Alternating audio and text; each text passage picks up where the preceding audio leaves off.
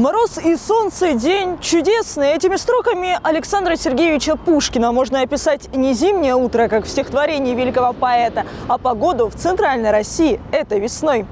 Температура воздуха в эти майские дни совсем не баловала и жителей городского округа Химки. Морозный ветер и обильные осадки то были в тандеме, то сменяли друг друга последние несколько дней.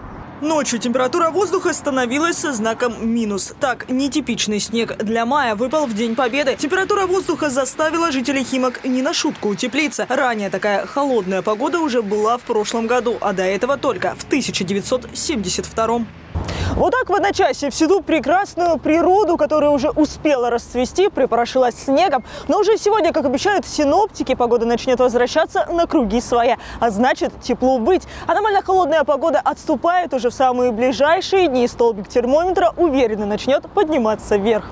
Но вот к концу рабочей недели, вероятнее всего, нагрянут кратковременные дожди, прогнозируют синоптики. При этом плюсовая температура сохранится. Анастасия Кравцовская, Дмитрий Бочаров. Новости Химки ТВ.